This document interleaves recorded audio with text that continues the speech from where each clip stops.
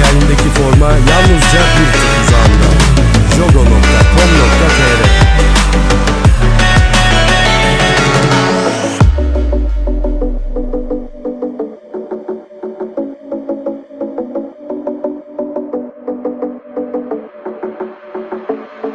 Yeah.